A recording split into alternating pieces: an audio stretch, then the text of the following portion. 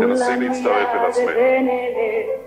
זוכרת את המילים? ואני הרבה זמן. מתרפקת על החוף עם הערב החם. תנו להיגמר בשקט, תדברי נא ואולי בבהה.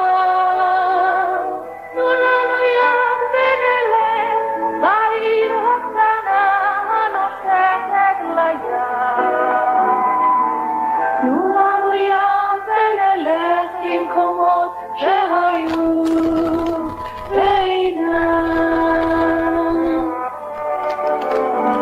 מחיאות כפיים. לעופרה חזה.